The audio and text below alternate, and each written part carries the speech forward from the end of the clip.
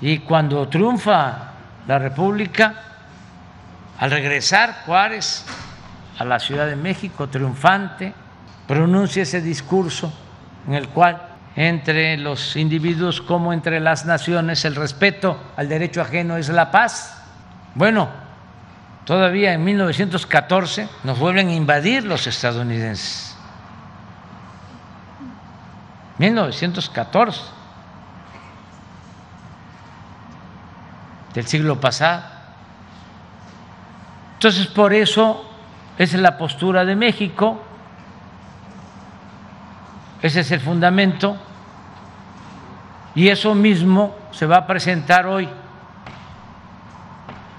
en el Consejo de Seguridad de la ONU, porque México es miembro del Consejo de Seguridad de la ONU. Y ayer que me hicieron la propuesta de la resolución, le recomendé al secretario de Relaciones Exteriores que como pie de página se estableciera la propuesta de México de rechazar, condenar cualquier invasión de cualquier potencia.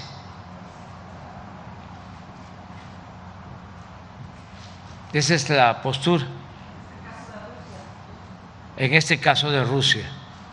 Pero lo mismo si se trata de China o se trata de Estados Unidos. Queremos que se respete la independencia de los países, la soberanía de los pueblos.